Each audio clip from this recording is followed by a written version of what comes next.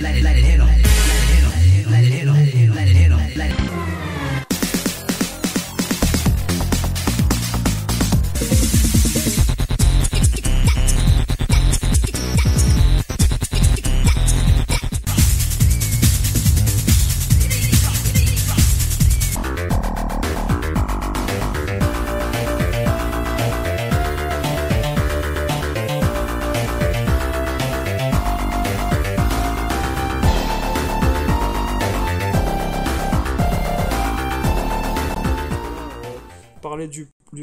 dans le, monde du jeu vidéo, dans la, création de, produits, euh, de logiciels euh, modernes ou anciens. Euh, toi, quelle est ton expérience par rapport à tout ça? Forcément mis au grand jour à chaque fois, mais c'est quelque chose qui existe depuis la nuit des temps. Déjà, pour, parler du plagiat, il faut savoir qu'est-ce que c'est que le plagiat. Bah, c'est tout simplement le fait de, de, de reproduire une partie d'une œuvre qui n'est pas la sienne, Ouais. sans, sans citer la source, et, et se l'approprier en disant que c'est soi qui, voilà, c'est soi-même qui, qui, qui avons produit ce, ce- ce- cette œuvre-là, Ouais. alors que c'est pas le cas. Voilà, donc euh, bon, faut savoir que euh, bon, c'est puni par la loi. Euh, et en termes juridiques, on parle pas de plagiat, on parle plutôt de contrefaçon. D'accord. Une contrefaçon totale ou partielle. Voilà. Ça, c'est pour placer un petit peu le contexte. Euh, après, les, les, les, euh, qu'est-ce qui peut. euh, comment, comment ça peut se dérouler Au niveau de l'école, est-ce qu'on vous apprend à différencier en fait l'exploitation d'un autre produit à travers une inspiration et, et justement... ça. on, y, on y viendra parce que c'est euh, ça, ça fera partie de, bah, de, de, de- on va dire d'une de- soit d'une inspiration tu vois. Euh, on peut dire tu peux t'inspirer de, quelque chose qui existe euh, pour, faire une production toi-même. Soit euh, c'est tu peux faire une copie mais dans le cadre d'un travail. Donc ça reste pas une exploitation en termes de réputation ou en termes de d'exploitation financière. Ça te rapporte pas d'argent, donc ça peut être comme ça. Mais on en parlera parce qu'en fait, euh, il y, a, il y a plusieurs raisons qui peuvent te, te pousser à plagier. Euh, il y a, il y a la- soit, soit tu le fais intentionnellement, Mhm. dans ce cas-là, tu, sais ce que tu fais et t'as pas envie de te faire attraper. Ouais. voilà. Euh, soit tu le fais pas intentionnellement parce que c'est vrai qu'avec euh, différentes œuvres qui ont été produites, tu peux pas être au courant de tout ce qui existe et à un moment ça peut se recouper avec ce que toi tu crées. Donc, euh, donc, euh, forcément là tu le fais pas intentionnellement. Mhm. Après tu peux le faire partiellement ou tu peux le faire totalement. Dans ce cas-là, si tu fais un petit bout, euh, voilà, c'est c'est un plagiat partiel. Si tu fais totalement, c'est-à-dire que tu prends une œuvre complète et tu, tu, et tu, et tu te l'appropries euh, pour toi. Donc voilà, c'est quelque chose qui, qui, qui existe vraiment euh, depuis, euh, depuis la nuit des temps, euh, tout ce qui est création artistique. Alors, tu parlais des écoles, euh, je pense, euh, des écoles de jeux vidéo. Donc, euh, Mhm. voilà, bon, pour resituer un petit peu la chose, moi j'ai fait, j'ai des- j'ai fait des études en game design, donc je suis diplômé en game design. Diplômé en game design, c'est quoi? C'est c'est, soit tu as passé trois ans, tu as passé trois ans à l'école à faire des études, ou cinq ans, ça peut aller jusqu'à cinq ans.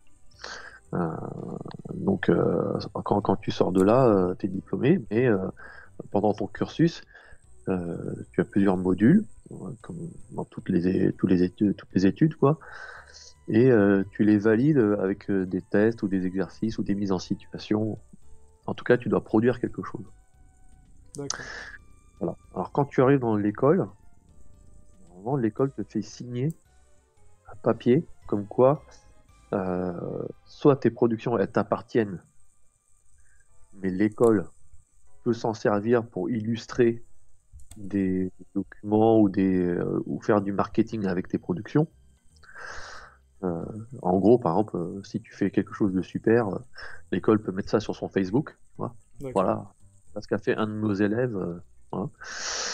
Euh, soit ce que tu produis, ça appartient à l'école, puisque tu produis dans le contexte de l'école. Et dès lors que tu as signé ça, tu, tu n'as plus la possession de, de ta production. D'accord. Donc, euh, quelque part, euh, l'école va, va te, te plagier avec ton consentement. C'est-à-dire que tu cèdes tes droits en fait à l'école. Ouais. C'est plus un plagiat quoi. C'est, elle a le droit d'exploiter. Ouais, ouais. Ça, c'est, ça, c'est, c'est euh, l'école et l'élève. Mhm. Donc, qu'est-ce qui se passe au- pendant ton cursus? L'école peut être amenée à prendre des œuvres qui existent et à, à te demander de les retravailler avec une autre ligne directrice dans le cadre d'un exercice. Ouais. Voilà, donc euh, euh, si, si, euh, si par exemple il y a un jeu qui, un, un Super Mario Bros qui, qui, qui sert de support à un cours où tu dois faire du level design, c'est-à-dire de la construction de niveau, peux tu peux très bien avoir un, un- l'exercice peut te dire refaites un- le niveau 1 ou le niveau 2 de, de Mario avec telle contrainte, c'est-à-dire euh, tu mets que trois types d'ennemis différents et tu utilises des tremplins. Enfin voilà. Mhm. Parce que là, tu as, exploité un jeu euh, dans le cadre d'un exercice. D'accord. Ça reste confidentiel parce que c'est pas censé sortir de l'école si tu veux. D'accord. D'accord. Et d'ailleurs, tu vas pas vendre le niveau de Mario que tu as fait. D'accord, d'accord. Ouais. C'est des, c'est des... On peut considérer, considérer ça comme des entraînements ou des, initiations à la, programmation?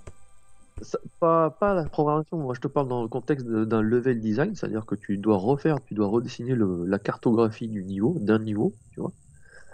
Et euh, donc euh, faire un level design, c'est construire un niveau et euh, le résoudre, c'est-à-dire comment le, le passer. Tu dois, tu dois fournir. euh, en- gros, euh, quand tu fais un, un level design, tu dois fournir le walkthrough, c'est-à-dire euh, comment résoudre le niveau, comment le traverser. Ouais.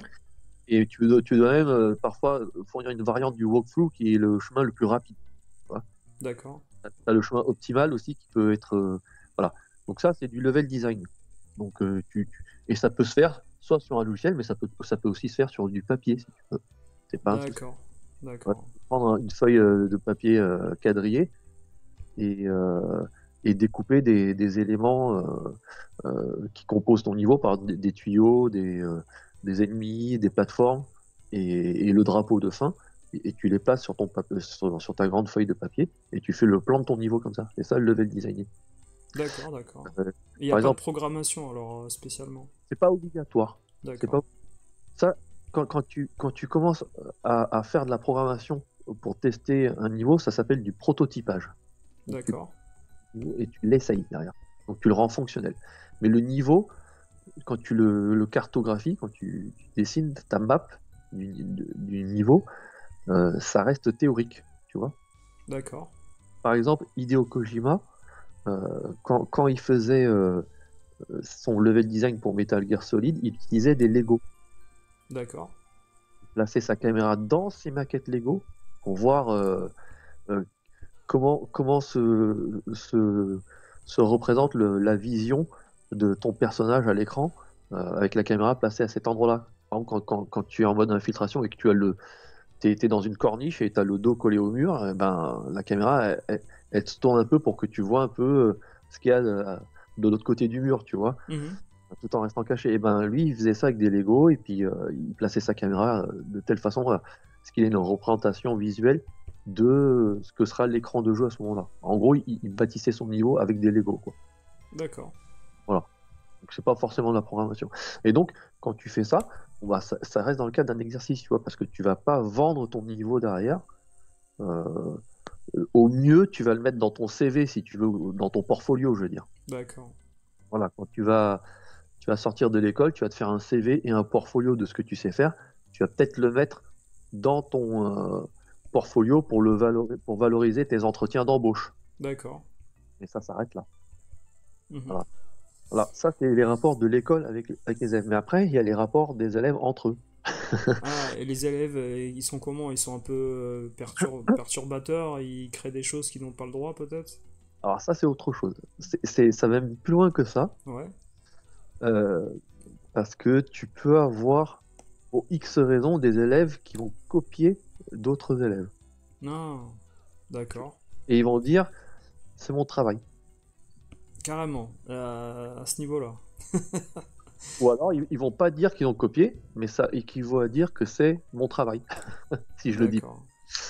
Donc, parce que faut savoir que dans, dans ces écoles-là, il y a une assez grosse euh, pression. Mhm.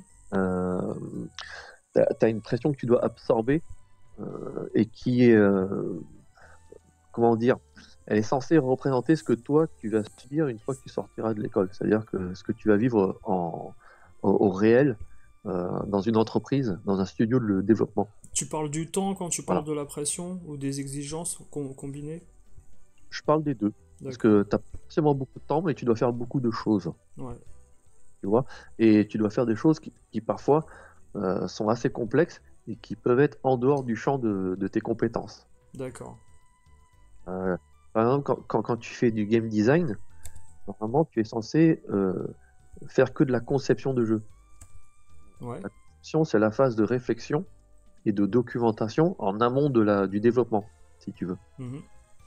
C'est-à-dire que, typiquement, c'est ce que fait Miyamoto. Euh, il, il pense au jeu dans sa tête, il va l'écrire sur le papier, il va mettre les règles du jeu, il va mettre les actions possibles, il va, il va aussi écrire la représentation qu'il a du jeu, c'est-à-dire euh, une vue euh, euh, qu'on appelle une, une vue top-down, donc une vue de dessus à la Zelda, Mhm. la Zelda 1 ou, ou 3, euh, ou une vue de profil à la Zelda 2 pour les phases d'action, tu vois. Donc, euh, il, il va, il, va, écrire tout ça, il va dire ce que peut faire le personnage, comment se déplace, comment euh, agit le personnage par, euh, avec son environnement, euh, quelles sont les actions possibles, est-ce qu'il y a euh, quel, quel type d'ennemis il y a, quels sont leurs comportements. En gros, il va documenter tout ça. C'est ça le, game design, c'est écrire des documents et encore des documents qui, qui vont décrire le jeu. C'est aussi imaginer l'univers du jeu D'accord. voilà ce qu'on appelle euh, entre guillemets euh, euh, le lore du jeu donc en gros la mythologie du jeu donc en fait créer un, un background historique pour euh, pour faire la narration du personnage pour euh, pour le euh, pour le déroulement du scénario enfin des, des choses comme ça Mhm. mais par contre on te demande aussi de savoir un peu de faire de savoir faire un peu de programmation et un peu de graphisme D'accord. tu, tu dois être touche à tout, tu vois. Et c'est ce qui se passe souvent dans les, euh, dans les, euh, les petites boîtes, les studios indés. C'est que quand tu rentres dedans, tu, tu es embauché pour, euh, pour un métier, pour un job, mais tu dois savoir faire d'autres trucs pour dépanner si tu veux. Parce Ouais, ont ouais, ouais, voilà. Ouais, on en avait parlé de ça dans l'autre dans l'autre euh, émission avec toi, on en avait parlé. Mais moi, ce que je voulais euh, vraiment voir de, de près, en fait, c'était la manière justement dont les gens travaillaient une fois qu'ils étaient dans un studio et, et ce qu'ils allaient euh, euh, subir au niveau de, de la, de la pression, comme tu dis, euh, avec euh, les conditions de travail, mais surtout que est-ce qu'ils avaient le droit de s'inspirer du travail des autres ou utiliser en fait échanger 2-3 pixels au niveau du sprite et ça pouvait passer sans problème ou il y a eu des histoires de, de, de plagiat dénoncés euh, sur ce genre de, de, de possibilités dans, dans l'ébauche d'un travail, tu vois?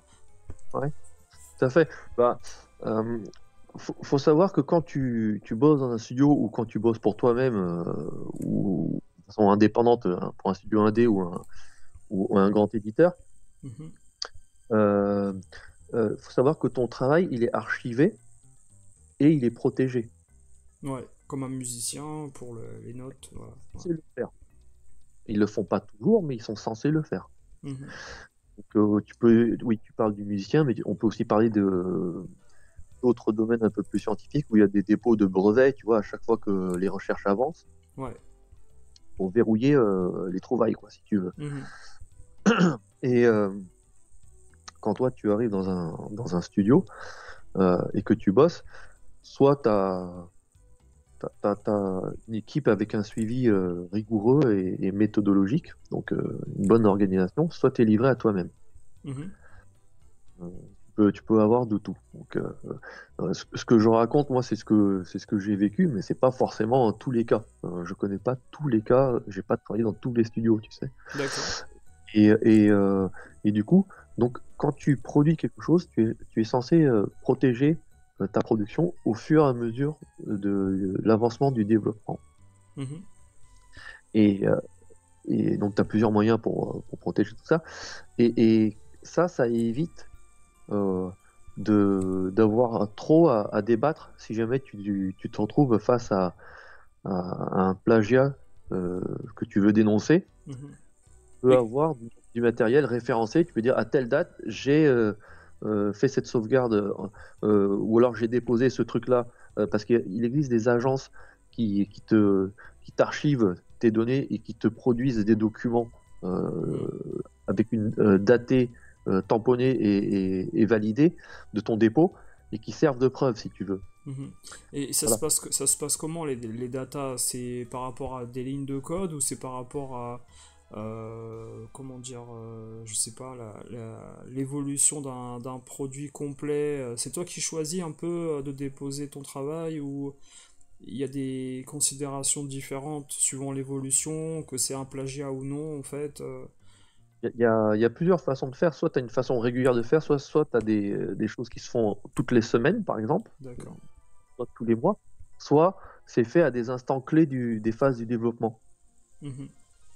C'est-à-dire que quand tu arrives à, euh, on va dire, au, au premier prototype jouable, là, hop, on, on- on bloque le truc, on fait les sauvegardes et on dépose ça euh, pour, euh, pour, pour verrouiller la- Mhm. l'étape de production. Mais Donc, euh, avant, mais avant ça, avant cette phase-là, ça, ça vous arrive de, de sauvegarder ou de déposer euh, des données? Bien sûr, Ouais. bien sûr. Dès, dès le début, tu peux, tu peux déposer des trucs. Dès que tu as les premiers schémas au crayon à papier, euh, tu peux très bien prendre tes, Déjà. tes, tes petits documents manuscrits, les mettre dans, une, dans un dossier et les, dé- les mettre sous scellé et puis les, dé- les déposer. Tu vois, et les enregistrer. Ouais, Tout à fait. Ben, j'ima- j'imagine que Sega, par exemple, à l'époque où ils ont créé le, le hérisson avec euh, Sonic, et le président de Sega Japon et Sega America, quand ils ont eu l'idée de... Ben, il faut savoir que Sega, au tout début, c'est pas forcément le hérisson qu'ils avaient choisi, il y avait un œuf, il y avait un hérisson, et puis il y avait je sais plus quoi d'autre. Et la copine du Un hérisson, lapin, c'est- non? Ouais, c'est peut-être un lapin, un lapin en effet, ouais, ouais, c'est peut-être ça, ouais. Et il y avait Madonna, la copine de, de Sonic, et Madonna, ça posait trop de problèmes de licence, de droit, euh, qui ressemblaient vraiment à la chanteuse Madonna, quoi. Et ils se sont Ouais. dit, on abandonne ça tout de suite parce qu'on aura des suites euh, judiciaires évidentes. Donc, euh, Mais là, c'était pas trop grave encore, si tu veux, parce qu'au moment où ils ont fait ça, le jeu n'était pas sorti. oui, c'est les ébauches, ouais. ouais. Ça restait en interne, si tu veux. Mhm. Tant que c'est en interne, tu risques pas trop de te faire. euh, euh, qu'on te fasse un procès pour ça. Non, non, mais ce que je voulais dire, c'est qu'on aura pu, voilà, piquer les dessins, en fait, et les utiliser dans un autre jeu chez Nintendo, tu vois. On, on peut te faucher l'idée. Ouais. Et, euh, et, euh, et euh, après, c'est une stratégie qui dépend de l'entreprise. Quand est-ce qu'elle veut faire ça, tu vois C'est il n'y a, y a pas de il y a pas de règles figées et toutes les boîtes fonctionnent pas pareil. Il y en a qui sont un peu plus euh, on va dire euh, un peu plus euh, un peu plus cool là-dessus, tu vois. Euh, Oh, c'est pas grave, on verra ça quand le jeu sera sorti.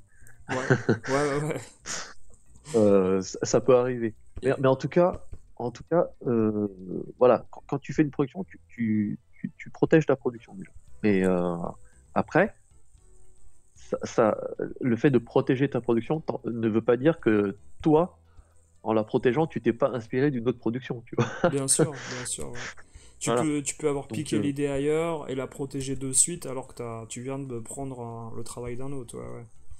Ah, D'ailleurs, c'est ce que tu posais comme question, c'est euh, comment ça se passait en termes de, de rythme de travail, de pression et tout ça. Mhm. Euh, la pression et le délai de sortie assez court peut pousser au plagiat, D'accord, d'accord. pour Ouais. gagner du temps. C'est un plagiat euh, pas fait pour euh, se faire du fric sur le dos de ce qui existe déjà, mais c'est pour euh, éviter de refaire des trucs qui existent déjà justement et, et de gagner du temps dessus. Ouais, Une autre forme de plagiat. C'est, euh, c'est ah ouais bon écoute. euh, après tout, un, un- un bonhomme, ça court tout le temps de la même façon. Bah, je vais prendre une animation d'un bonhomme qui court. Mhm. qui existe, je vais, je vais le mettre euh, en, en application sur mon personnage. Alors, c'est pas le même personnage qui, court, mais il va peut-être courir de la même façon si tu veux. Ouais, je vois, ouais, ouais, je vois. Peut-être avoir euh, huit étapes d'animation pour faire un pas de course. Hmm. Et ça se met en... Mhm. Et, et, et, et c'est les mêmes segments qui vont être animés que euh, l'original qui l'aura plagié. Mais c'est pour gagner du temps, tu vois. Et- et ça et- peut arriver. Et par exemple, quelqu'un aujourd'hui qui, qui fait une création euh, euh, type homebrew là, sur les consoles euh, d'ancienne génération et qui ch- utilise des sprites euh, déjà utilisés, hein, comme ça a été sur Paprium ou ça, ça a été sûrement sur des jeux de plateforme sur, pour la NES, où des gens ont dû utiliser déjà des patterns et puis des, des animations au, au niveau de l'évolution du personnage et des sauts, tout ça, copier-coller. Euh, Est-ce que par exemple euh, d'anciennes compagnies pourraient attaquer, euh, bah, par exemple, est-ce que Sega pourrait attaquer Fonzie pour euh, sa création de Paprium avec des, des- des sprites utilisés de- dans ses anciens jeux ou- Tu vois ce que je veux dire? Paprium, il, il s'est inspiré de quoi? De, de Street of Rage? Il y a, il y a de- des de- sprites en fait d'anciens jeux de, de beat'em all. Euh, il y a des musiques également qui viennent de Street of Rage 3. Et puis tu as des, des sprites qui ont été chopés sur euh, d'autres jeux, euh, je crois de chez SNK, au niveau de- des, des ennemis. Il faudrait que je répertorie tout ça, mais il y a énormément de choses qui ont été piochées à droite à gauche. Euh, c'est assez impressionnant. hein. Il y a beaucoup, Ah, beaucoup de choses. Paprium? Ouais, sur Paprium, ouais, il y a beaucoup de choses. C'est-à-dire que tu as, la, la, la musique de sélection euh, des, euh, des personnages euh, Ouais. qui, est, euh, qui est tirée euh, de, de Street of Rage 3 euh, au niveau de- d'une musique de menu également. Et enfin, peut-être qu'après lui, euh, il a pu négocier les droits avec quelqu'un comme Yuzo Koshiro, mais j'en doute. Mais il y a un riff de musique. Qui... Alors peut-être qu'il y a une tolérance de, de 10 secondes ou 5 secondes, je ne sais pas, mais ça me paraît suspect. Ouais, euh, alors, euh, alors avant, avant de parler de ça, parce que bon, c'est vrai que c'est. Ah ouais, non, mais c'est impressionnant. hein. Si tu regardes la liste en fait euh, de ce qu'il a pris ailleurs, Ça fait beaucoup pour, euh, enfin, pour, pour, pour ce jeu, en tout cas, je trouve qu'on en parle beaucoup, mais pas forcément. euh, en bien, ouais. il en- ouais, comme il faudrait.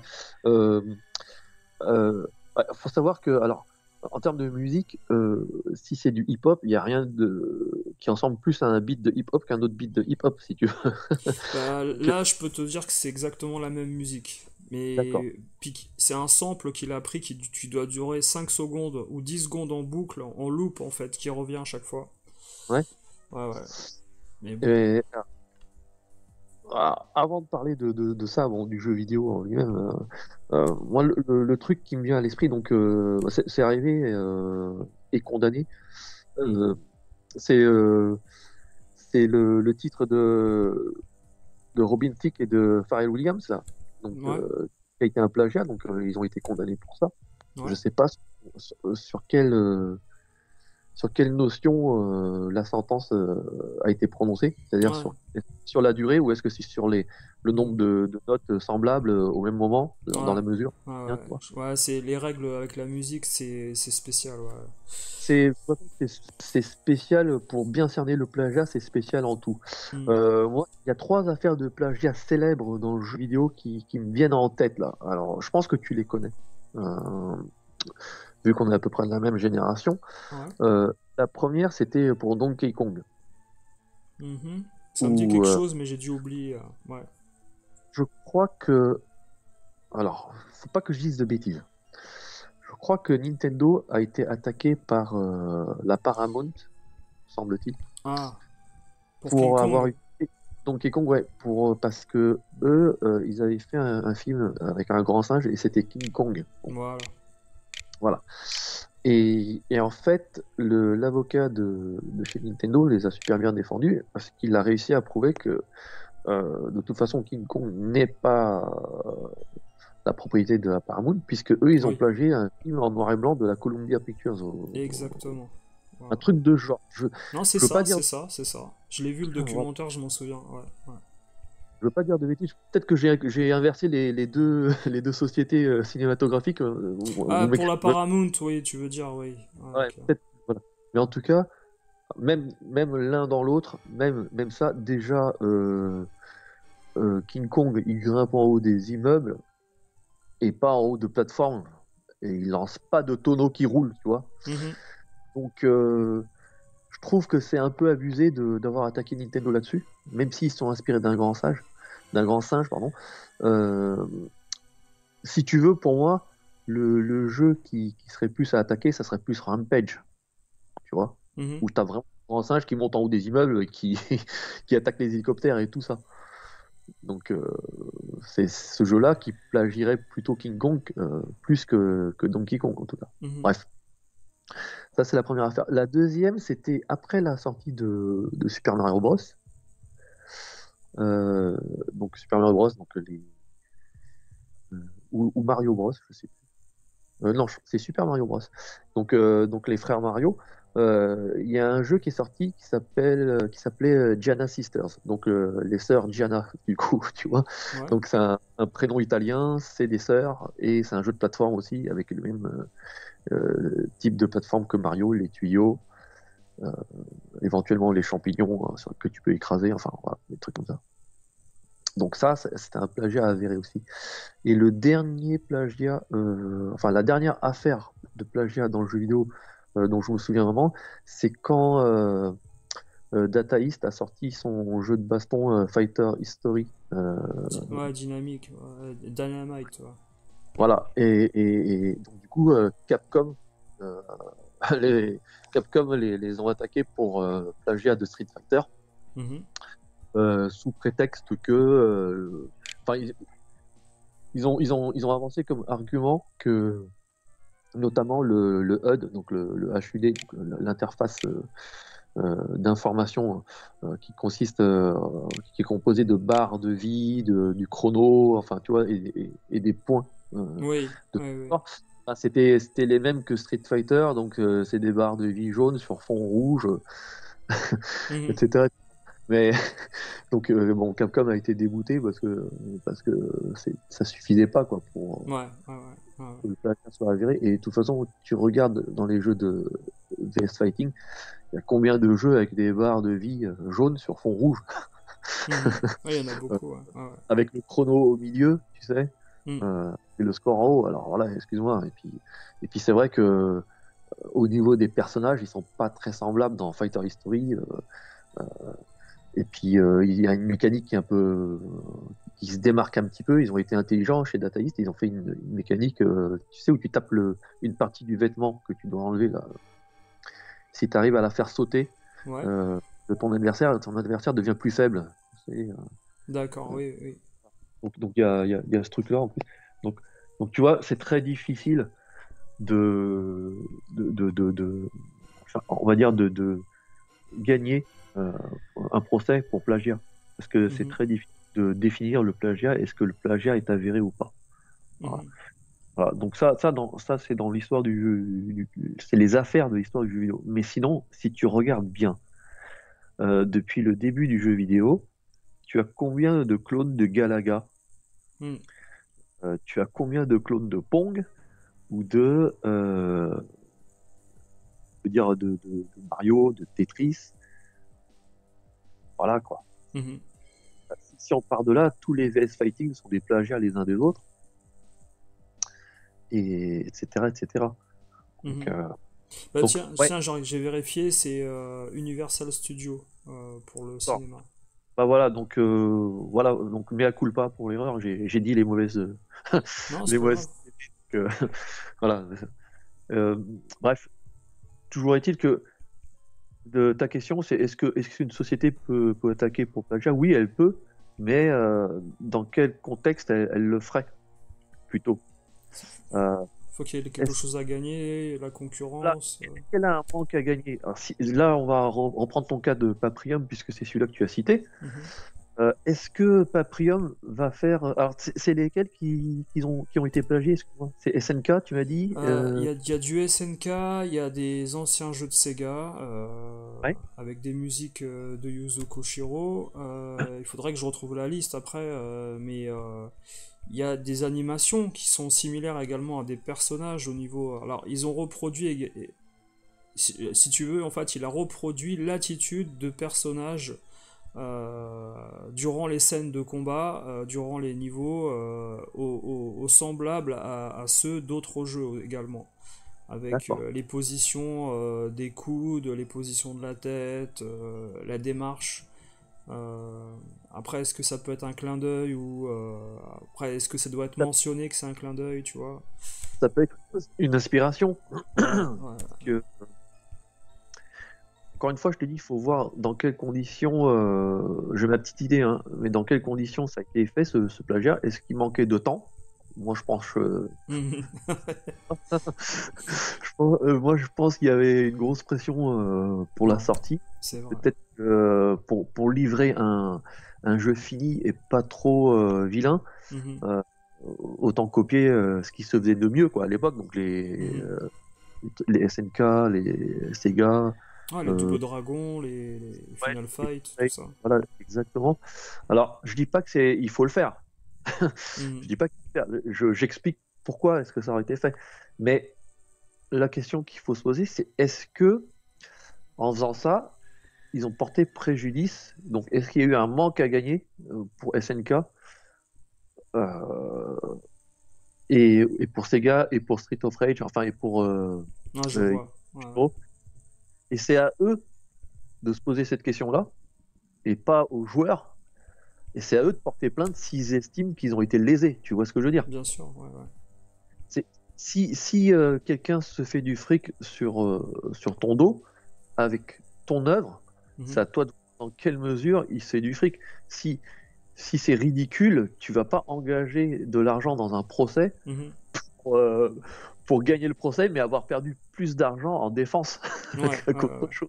ouais. Tu vois? Je vois très bien. Euh, Voilà. Et est-ce que Paprium a permis aux gens de. Je sais plus c'est quelle boîte, euh, c'est Watermelon, je crois. C'est pas ça? Ouais, Watermelon, ouais, ouais. Euh, De que s'enrichir. est-ce qu'ils se sont enrichis plus que ce que Sega aurait touché si euh, ils avaient euh, cité Sega et reversé des droits pour, pour Sega je- Mhm. c'est Je vois l'idée, ouais. ouais. Voilà, que, que eux ils doivent se faire avant d'engager le procès. Ils pourraient tout à fait le, le faire, mais, mais après, est-ce que c'est avéré? Est-ce que c'est vraiment avéré? Parce que. euh, alors, c'est un jeu, c'est un beat'em up. Ouais.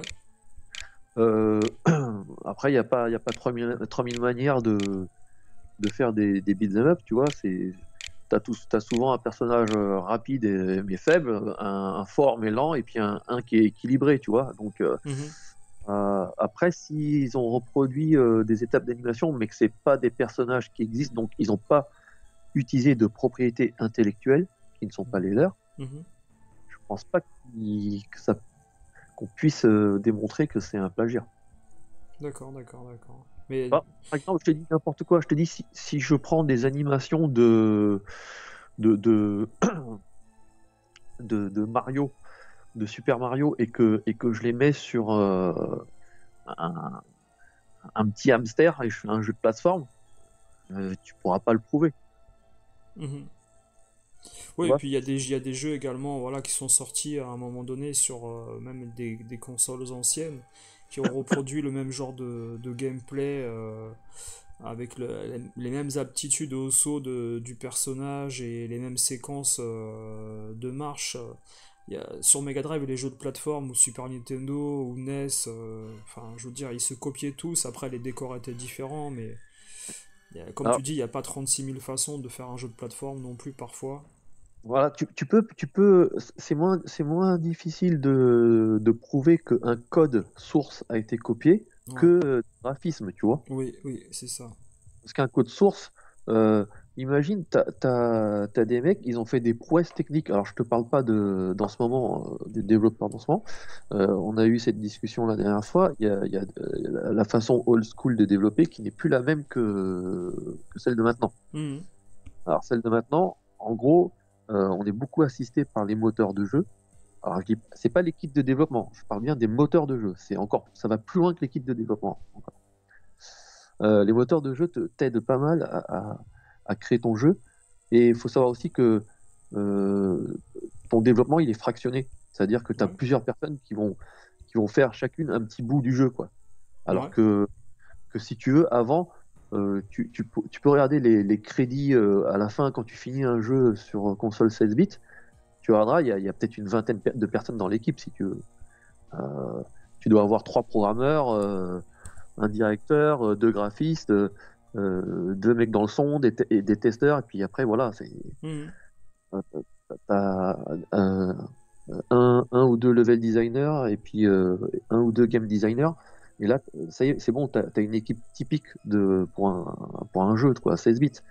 Euh, tu peux le voir dans, dans, dans Castle of Illusion, quand tu finis, par exemple, Castle of Illusion, t'as as beaucoup de, de, de noms, mais t'as des noms qui ont rien à voir. C'est que des remerciements spéciaux, tu vois. Donc c'est peut-être des, des bêta-testeurs euh, qui, qu'ils ont payé à la pige, mais c'est pas vraiment l'équipe euh, noyau du, du jeu. Ouais. Voilà. Et, et, et, comme tu as une équipe réduite, eh ben, chacun avait beaucoup de, de avait des grosses tâches, si tu veux, donc dans le développement. D'accord. Et euh, il faut savoir aussi que avant, ils se battaient avec le hardware. Ouais. Euh, le hardware était limité. Il fallait trouver des tas de façons de contourner cette limitation. Donc, fallait, euh, tu prends, on avait discuté de Wolfenstein 3D, euh, il me semble, la dernière fois. Euh, le, le, le, le développeur, il a dû créer un propre moteur de rendu parce que euh, le, le, le jeu était pas, euh, si tu veux, il n'y avait pas de carte accé- accélératrice 3D à l'époque, il n'y avait pas de, voilà Mhm. quoi. Et pour avoir la vue à la première personne, il, avait créé un, il a créé un propre moteur de rendu. Après, quand il a fait, euh, quand ils ont dû faire le portage sur des, sur des consoles comme la Super Nintendo, il a dû euh, faire, on va dire, une autre ruse pour que ça tourne, parce que ça tournait pas sur la Super Nintendo, si tu veux. Mhm. Il a dû adapter son jeu. Et, et, et ça, c'est des trucs particuliers qu'il a fait. C'est-à-dire que c'est- lui qui a résolu le problème avec sa technique et, et son code. Et si ce truc-là, il est repris dans un autre jeu Super Nintendo pour faire tourner un jeu du même genre, c'est-à-dire avec une vue à la première personne, euh, euh, euh, tout en restant sur la Super Nintendo et sans, sans évolution spéciale du hardware, euh, le mec qui a repris ce code-là, il sait que le code il va fonctionner, mais par contre, comme il n'y a qu'un seul mec qui l'a fait avant et que, et que c'est facilement identifiable, il n'a pas intérêt à s'en servir. Ah, je vois Donc, très bien. ouais. On peut trouver très facilement qu'il a plagié le, le code source euh, d'un autre jeu qui est sorti Mhm. avant. Mhm. En revanche, les graphismes, c'est un peu plus dur. Parce que si tu fais des étapes d'animation et que tu changes le graphisme, c'est-à-dire que tu changes le personnage, c'est difficile. Mhm. Bah, par exemple, y a, dans ce Paprium, il y a des sprites euh, qui viennent par exemple euh, de King of Fighters, de Capcom SNK, et il y a euh, bah, des ennemis qui sont très, mais alors très fortement inspirés, euh, où tu as ce fameux punk en boîte de nuit. euh, Ouais. bah, qui est pratiquement la réplique en fait euh, euh, des ennemis dans, dans, dans ce jeu-là. C'est plus une question de graphisme et en fait les postures en effet sont plus prises à, à des King of Fighters euh, ou des Capcom euh, SNK, euh, des, des jeux de versus euh, du côté de, de chez Capcom. voilà. Oui, d'accord. Donc euh, Street Fighter, euh, Voilà, des Street Fighter, les, les postures des personnages. euh, voilà. Mais ça, c'est en effet, la posture, c'est. Je pense que à partir du moment où le sprite est d'une taille différente ou. Ouais. voilà, de. égal, com- composé d'autres pixels, voilà. voilà, tu vois, c'est, c'est, tu, tu peux pas le prouver. Et en plus, faut voir quand même que Street Fighter et tout ça, c'est des, c'est des personnages assez, assez euh, génériques, mais qui sont assez clichés, quoi. Quand même, t'as, un karatéka, t'as un sumo. euh, je veux dire, euh, au karaté, euh, tu donnes un coup de pied. euh, voilà, c'est très codé, tu vois. Donc, euh, si tu fais un karatéka dans un autre jeu, il y a des chances qu'il donne le même coup de pied, si tu veux. Ouais. Ouais, ouais, ouais. Je... Après, en effet, c'est le, le nombre de, de pixels sur le, le sprite qui va ch- faire euh, penser que t'es- t'as, t'as fait une création propre à toi. euh, voilà. Ouais, c'est ça. Mais, et même quand bien même, tu, tu vas réutiliser. Alors, je sais pas si c'est Ryu qui a été réutilisé, mais je te prends cet exemple-là. Ouais. Tu prends Ryu, c'est un karatéka. Comment tu le distingues, Ryu? Bah, c'est un karatéka avec un bandeau rouge, euh, euh, un Mm. bandeau sur la tête, quoi, tu vois? Mhm. Euh, rien, rien que là, je, je- t'envoie un autre. Je te vois Karate Kid. Tu vois, je te vois Ralph Macho, il est un karatéka avec un bandeau sur la tête, tu vois. Mhm. Euh, euh, Est-ce que Ryu a plagié euh, Ralph Macchio Euh, Ouais, et puis ça, c'est une posture commune dans plein de jeux, la, la posture de, de, de, de positionnement avant le combat et pendant le combat de Ken ou, ou de, ou de Ryu. euh, tu Ouais. la retrouves dans les King of Fighters de, de chez SNK. Et SNK a plagié Capcom euh, sur ce point-là, c'est sûr. Si, si- si on part de là, euh, on peut dire que Soul Age, euh, enfin Soul Blade, a, a plagié Samurai Shodown. C'est avant Samurai Shodown, il n'y avait pas de VS Fighting à, à l'arme blanche. Tu vois Ah, pour le, la 3D, ils sont en 3D après, en effet, ça. Voilà. Ça, c'est une représentation du jeu. C'est- une vision du jeu. ouais, Pour moi, quand j'ai vu Mitsurugi, je dis c'est Aomaru, quoi, tu vois. Ouais, ouais, ouais, ouais, oui. Oui, j'ai vu Mitsurugi, je dis ah, il y a Aomaru, quoi, tu vois, c'est. euh, Mhm. Oui, euh, oui, oui, oui, oui. Les habits, la, pos- la posture exacte, l'épée, Ouais. euh, le, le Euh, katana. Ouais, ouais, ouais. Sonic a plagié euh, Son Goku. Mhm, Quand tu en Super Sonic, c'est un, un mode Super Saiyan, tu vois. mhm, mhm. Et, et, et, et je crois que dans SNK, dans Last Blade, il y a Kaide qui se Super Saiyan aussi. Ouais, ouais, ouais. Ah, mais c'est. C'est vrai que c'est des- pas. Tu vois, vis-à-vis de ça. Alors que le Super Saiyan, à part Dragon Ball Z, euh, j'en connais pas d'autres. Donc c'est clairement la source, elle est clairement identifiable si tu veux. Mhm. Est-ce que, est-ce que, est-ce que Toriyama est allé leur faire un procès, ou plutôt la Toei euh, est allé leur faire un procès pour ça. Ah, Ouais. Voilà. Euh, on peut aller plus loin. On peut aller plus loin encore. Euh, regarde dans le, le, le genre VS Fighting, Mhm. là, le nombre de Bruce Lee qu'il y a dans les jeux de combat. Ouais.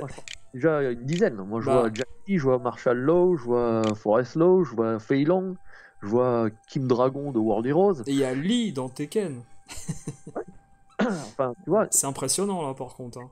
Ouais. je, je vois, je vois Ken le survivant, je vois Okuto no Ken, tu vois. Je vois- Ouais.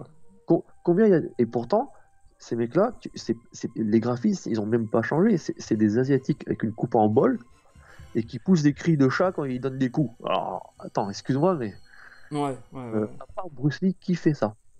C'est vrai, c'est vrai. C'est pas, c'est peut-être pas dans le, dans les règles du kung-fu de pousser des, de ce genre de cris, quoi. Je Voilà. Et surtout de d'avoir, bah, je sais pas, à la fois la, la coupe en bol, torse nu, être maigre et très sec, tu vois. Ouais. Euh, euh, le, et puis, euh, et pareil, hein, le, le- euh, attends, il faudrait que je te trouve le terme, le, la tenue de, de parachutisme jaune avec les bandes noires dans le jeu de la mort. Ouais. Il n'y a que lui qui a porté ça. À, à- à part la Uma Thurman dans Kill Bill, il n'y a que Bruce qui a porté ça dans le jeu de la mort. Et, et pourtant, cette tenue, elle se retrouve dans, dans ces jeux de baston.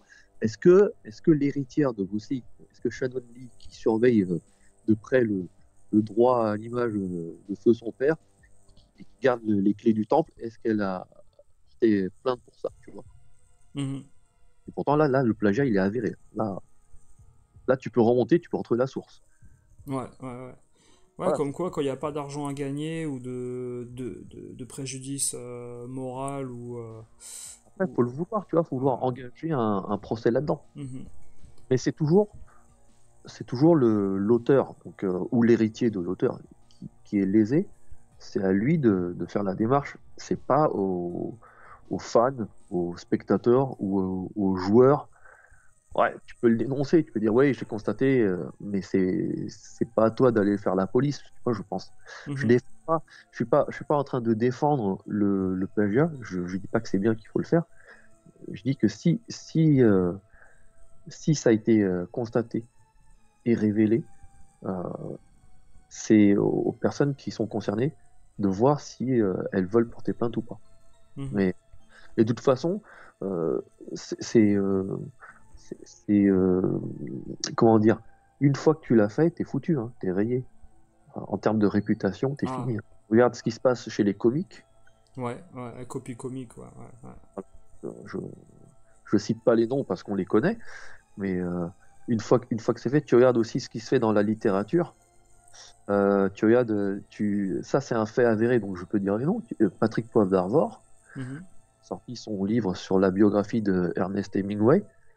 Il a copié 40 pages, entre 40 et 50 pages, d'un auteur anglais. Il a traduit les pages et il a dit c'est lui qui a écrit. Ouais, je. Finalement, finalement, euh, qu'est-ce qui s'est passé Euh, euh, Étant donné que que ça, ça a été révélé, il a été contraint de supprimer ça de son livre. C'est Mhm. déjà les passages un peu qui posaient problème.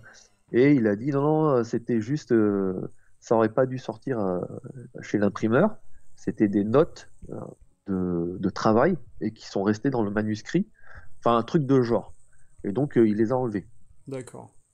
Voilà. Toujours est-il que voilà, on sait, voilà, c'est à partir de là, non, t'as as grosse suspicion quoi, sur ta réputation. Voilà, tu fais ça, une fois que tu fais ça, dans le milieu, t'es blacklisté, hein, Mhm.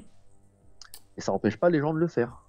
Les gens le font et le font encore. Je te parlais tout à l'heure de ce qui se passait en école.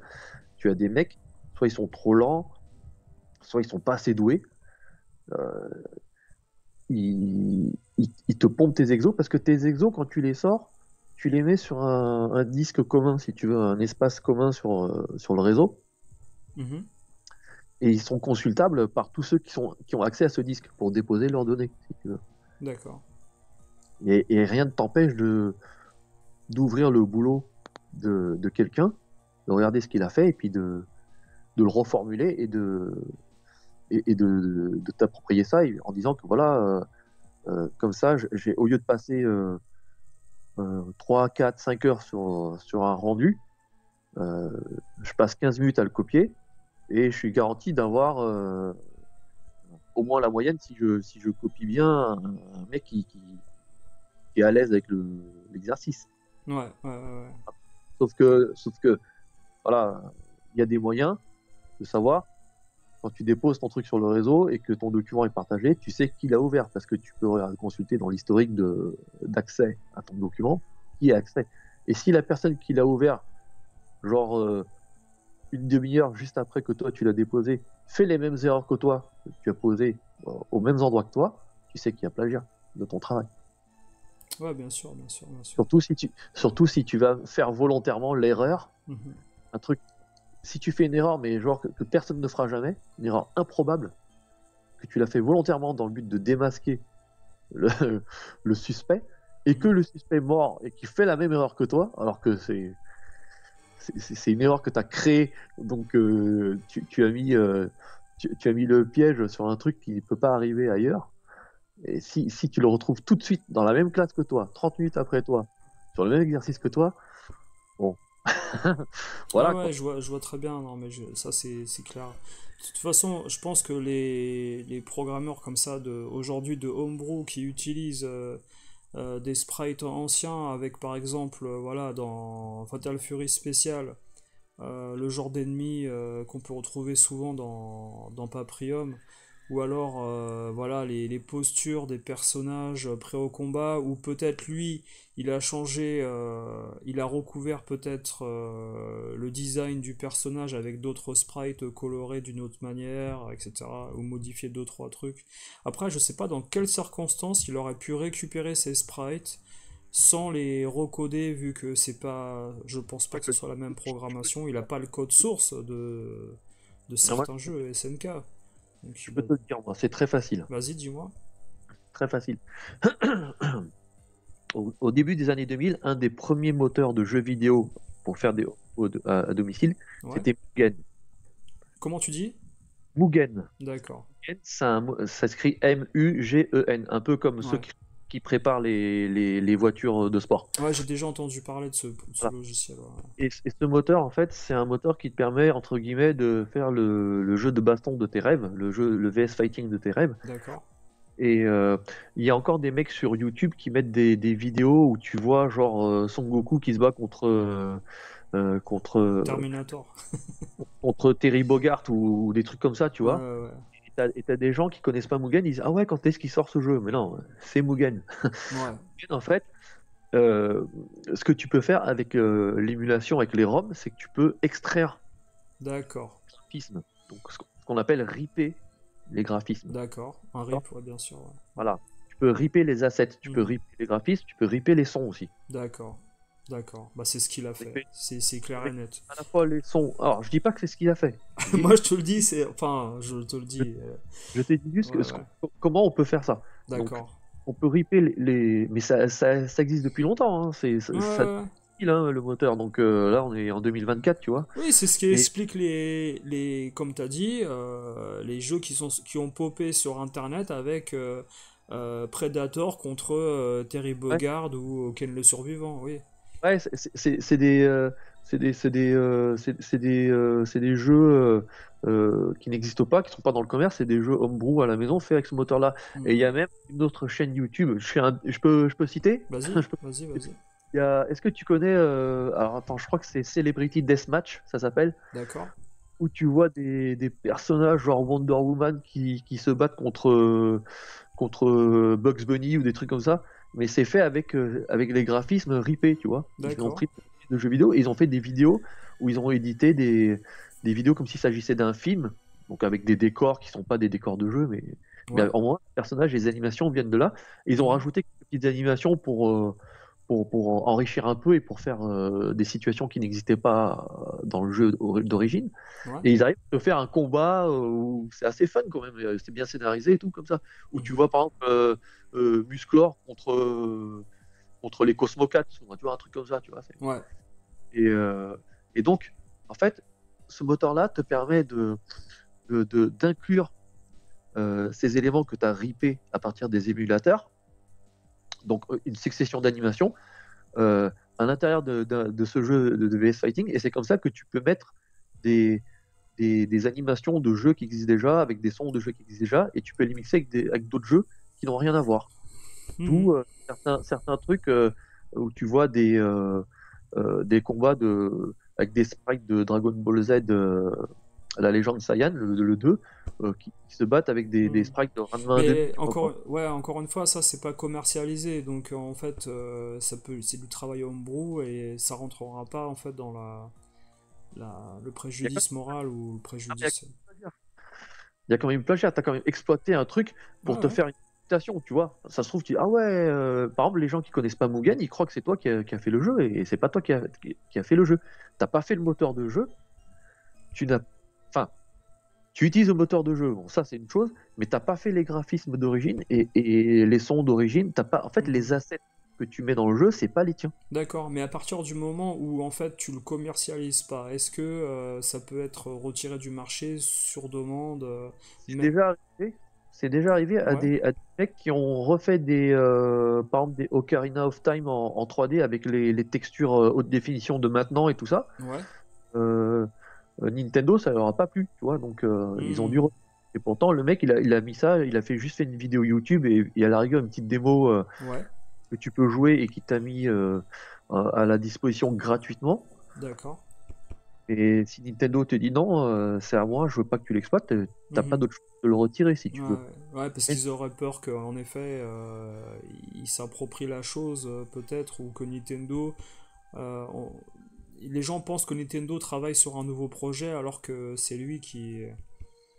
Il y a, il y a- il y a soit ça, Ouais, donc en fait, en, en gros, euh, une, euh, une fake news sur, Ouais. euh, sur Nintendo, ou ça peut être mal exploité. Il Mhm. faut savoir que Nintendo, c'est comme Disney, c'est très à cheval sur tout ce qui est familial. Mhm. Maintenant, si tu utilises les sprites de Nintendo et tu fais un jeu pour adultes, Ouais, euh, Nintendo va se prendre une réputation euh, qu'il n'a pas voulu et qui lui est préjudiciable.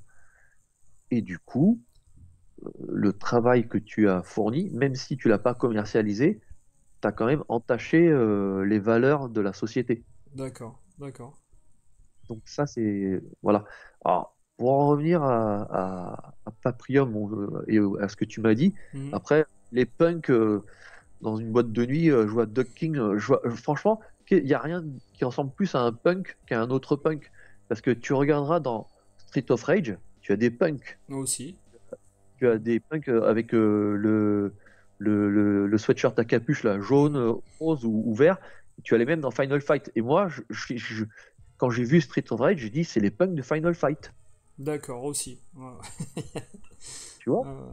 Euh, tu prends Double Dragon pour rester dans le beat 'em up. Mhm. Dans Double Dragon, tu as euh, dans le premier, tu as Abobo, le gros personnage, le, le plus balèze Mhm. des ennemis. Et à partir du 2, tu en as un qui ressemble à Schwarzenegger. Mhm. Donc euh, c'est un plagiat de Schwarzenegger. Je pense pas qu'ils aient demandé à Schwarzenegger. Ah, Il Il est a son- pas la même tête du tout, hein. Il est, il est chauve, hein, normalement. Dans, dans le, dans le Double Dragon 2, il y a Abobo, mais il y en a un deuxième. Ah, d'accord, ok. Un deuxième type de gros, et c'est Schwarzenegger en fait. D'accord, d'accord.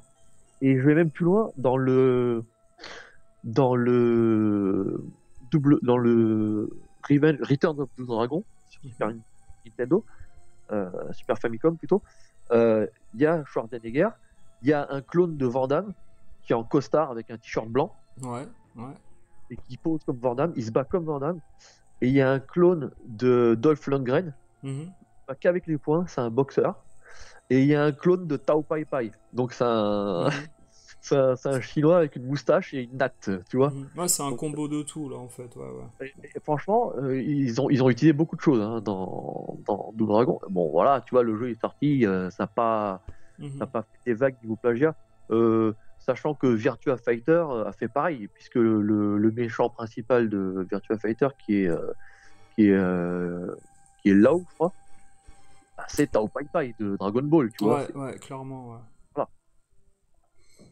Il y, a, il y a beaucoup, beaucoup de, de personnages qui ont été piqués à gauche, à droite. Euh, je pense qu'à ce moment-là, on n'a pas fait tout un foin, alors que les jeux, euh, c'était des jeux euh, commercialisés à grande échelle, beaucoup plus que Paprium, si tu veux. Parce que Paprium, à part les, les vieux qui ont une Mega Drive et qui veulent, euh, qui veulent se- faire l'expérience d'un beat'em up euh, de, de 80 mégas euh, en Mhm. 2020 sur Mega Drive, qui l'achète Personne.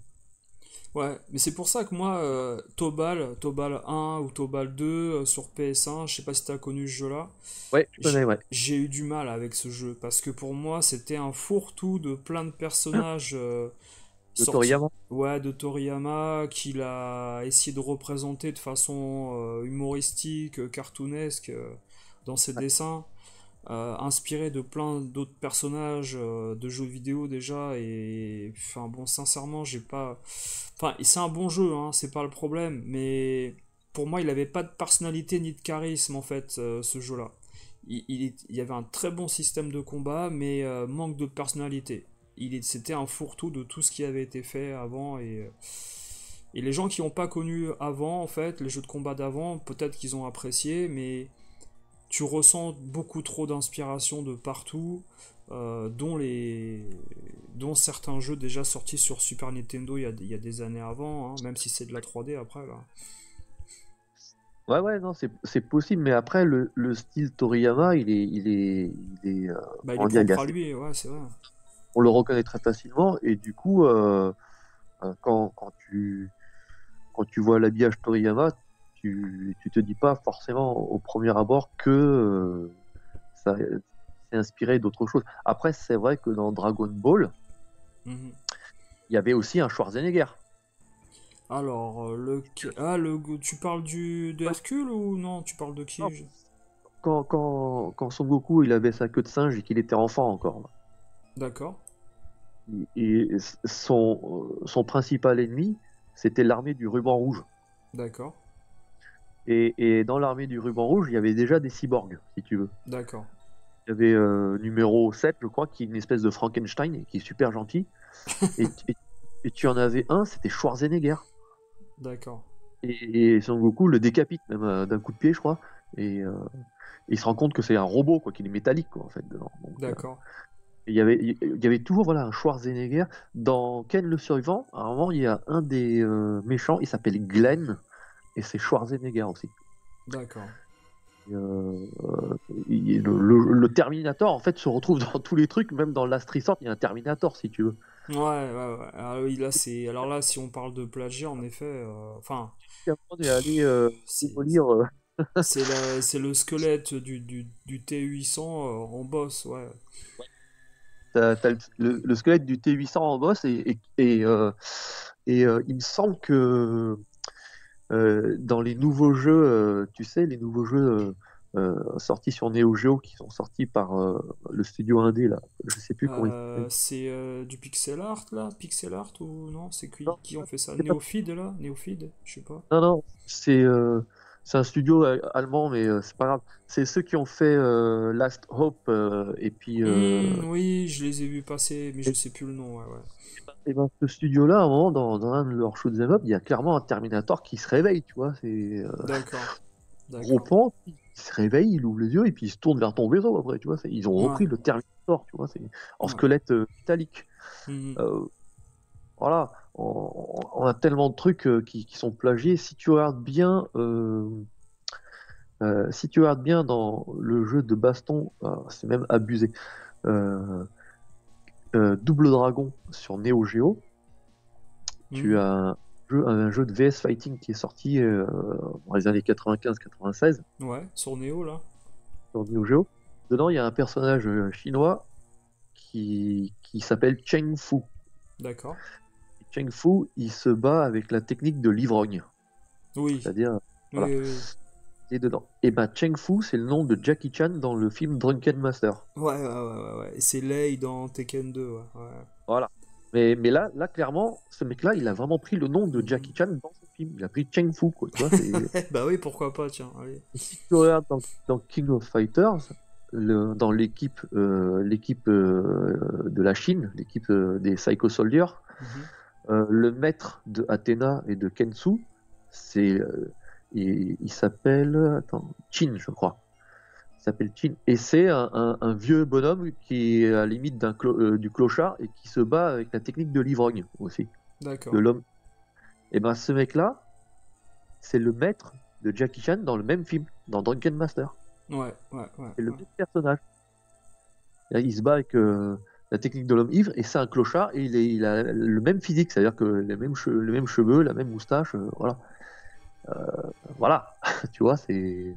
Non, mais je vois très bien. Après, ça, c'est. Je pense que les techniques de combat, euh, ça peut être autre chose, mais reprendre en effet le nom, tu vois. Ouais, mais là, c'est même les graphismes, si tu veux. Ouais, ouais, ouais, même- il y a tout. ouais. Les détails du visage, tu veux dire, les- la coiffure. Voilà, donc, pour te dire que là, le- c'est un- un plagiat clairement avéré, donc tu, as, dont tu peux remonter sur l'origine assez facilement. Euh, Et là, il n'y Bon, avait pas ouais. du tout de, de licence ou de droit d'image par rapport aux acteurs du film, rien du tout. moi, j'ai- pas, j'ai pas entendu, j'ai pas eu affaire de- de- d'une seule plainte euh, de ce côté-là sur King of Fighters. Et d'ailleurs, c'est pour ça qu'ils ont continué à utiliser le personnage. Donc, Hmm. euh, Ouais, ouais, ouais, ouais. Voilà, il y a- c'est c'est pour- c'est vraiment pour te dire que si tu veux, si tu veux trouver des, des- des formes évidentes de plagiat, dé- déjà tourne-toi vers, euh, vers les clones de Bruce Lee et vers ces personnages-là, tu vois, vers les Schwarzenegger et tout, qu'il y a eu dans, dans les jeux vidéo, euh, avant de, de prendre juste euh, des poses euh, ou des punks. euh, c'est assez random comme perso quand même, un punk. Euh, Bah, pas forcément, parce que si tu vois dessus de... des punks, il y en a vraiment des différents, mais la composition des pixels, et puis je te dis la posture, les habits, la colorisation, euh, après des, des pixels, franchement, c'est. Là, c'est. Tu penses à ce jeu tout de suite, en fait. Tu dis pas c'est Double Dragon ou quoi, parce que c'est pas du tout pareil. Bah, pour les punks, il y en a. Je, je suis même pas sûr qu'il y a des punks, par contre, dans Double pas- Dragon. Tu vois? Mais Ouais, euh, sincèrement, là, c'est. Pour moi, c'est. Enfin, c'est clair et net. Et je pense que. Je pense qu'un gars comme Fonzie, comme tu dis, qui peut être pressé par le temps, il est capable de faire ce genre de choses, en fait, pour euh, Ouais. C'est améliorer. peut-être qui a fait les graphismes hein, euh, ou les animations. hein. Et ils sont, ils sont une équipe, hein, donc c'est- il est peut-être pas. Soit, soit il est au courant, il a, il a fait bon, on s'en fout quoi, c'est pas grave, Ouais. on n'est pas les. C'est le, dir- pas c'est le directeur de projet, quoi qu'il arrive, donc euh, Ouais, je veux dire, peut pas c'est- ça change rien. Ouais, c'est sûr, mais tu peux pas, tu peux pas dire ah ouais. Alors non seulement tu peux pas tout vérifier, mais en plus tu n'as pas forcément la connaissance Mhm. euh, suffisante pour euh, pour déterminer quelle est la source de, de tel truc que tu vois à l'écran et tout ça. Tu vois, c'est toi Mhm. ton, ton rôle euh, c'est d'être le chef d'orchestre du projet et de le mener à bien. Et, euh, et les gens se rendent pas assez compte. euh, les joueurs ne se rendent pas assez compte à quel point sortir un jeu c'est euh, c'est quand même une grosse étape. Ouais, Euh, ouais. Mais est-ce que c'est comme- une, c'est- est-ce que c'est une excuse pour reprendre euh, les mêmes non. musiques ou les mêmes sprites dans d'autres jeux? C'est pas parce que c'est difficile qu'il faut justement accélérer le temps euh, et prendre des choses ailleurs, tu vois? Non, mais c'est pour expliquer. J'ai jamais dit que c'était pas condamnable. J'ai dit c'est- si on veut chercher à comprendre pourquoi. Voilà, il y a, y a- y a ça aussi parce que Mhm. quand, que tu sois une grosse boîte euh, avec un triple A ou que tu sois un, un- un studio indé ou un créateur euh, tout seul dans ton coin à faire des homebrew, euh, si tu te, fixes comme objectif de sortir un jeu, euh, faut t'y tenir. C'est un peu, les gens ils disent bon, le jeu à partir du moment où tu lances la production, il sort.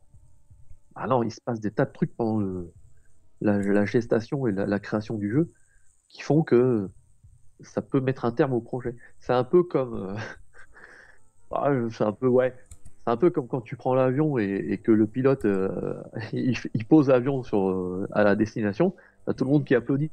Ah, rien. Tu te dis bah non pourquoi ils applaudissent? C'est normal quoi. Tu es d'atterrir quoi. C'est Mhm. tu décolles, tu atterris. Ouais mais mais c'est un peu ce qu'on ce qu'on ressent quand tu sors un jeu. C'est euh, Moi, j'aurais plus. normal de le sortir. C'est normal de le sortir, tu vois. Mais euh, on... c'est tellement marquant, on a tellement. Non, mais moi j'aurais Tellement. plus comparé ça à autre chose. Le pilote d'avion qui te dit au final, viens, on va atterrir sur l'autre île parce que c'est mieux et c'est plus rapide d'y aller. Et en fait, euh, il atterrit ailleurs et les passagers, ils ont pas demandé d'atterrir là, mais ils sont servis euh, d'une autre manière euh, dans, dans, dans la, la finition du jeu en fait. Moi je vois plus ça comme ça en fait. On te met une Bah, destination et en fait il va ailleurs parce que lui, juste que c'est plus rapide et plus facile d'y aller là-bas. Et c'est aussi bien peut-être, ou même mieux, donc euh, je vois ça Alors, comme je- ça. Pour le plagiat, je- je, parle. hein, plagiat Je, avéré. je, je l'explique. Moi, j'ai pas vu les, euh, les graphismes dont tu parles là, donc euh, j'ai j'ai Mm. pas vraiment euh, idée à quel point c'est semblable, je te crois, sur parole. Non, mais je te, là, je te parle en général, tu vois, le, vraiment le, le gars qui, justement, tu, sais, le gars qui veut, euh, par exemple, écrire un bouquin et puis qui prend euh, la moitié d'un bouquin d'un autre et puis il écrit les cinq dernières pages, il dit c'est moi qui l'ai écrit. Euh, Enfin, c'est un- une image, mais tu vois, c'est à peu près comme ça que je vois. Euh, le plagiat en général. Après, je dis pas que Fonzie, voilà, et spécialement lui, hein. Moi, je te parle de tout, euh, voilà, en général. Ouais. Je vois Après, ça comme à- ça. À partir du moment où, où, euh, où les joueurs s'en plaignent pas et les, les auteurs euh, euh, originaux ne, ne s'en plaignent pas, euh, moi, je- en plus, c'est vrai qu'il y a d'autres alternatives parce que quand tu quand tu, tu produis un, un jeu vidéo, tu as la possibilité d'utiliser des, des assets gratuits en termes de son, de musique ou de. Enfin, c'est pas des assets gratuits, je te dis des bêtises. Excuse-moi. C'est des assets libres de droit. Tu les payes. Tu...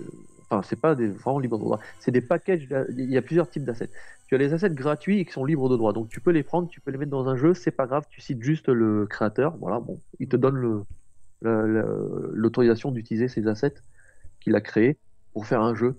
Euh, limite, ça l'arrange lui parce qu'il peut dire oui, j'ai créé ces assets-là, ils sont là dans tel jeu, donc j'ai du concret à vous montrer. euh, Donc pour son, euh, son CV, celui-là, ça, ça peut l'enrichir. Toi, ça t'arrange parce que t'as pas payé les assets.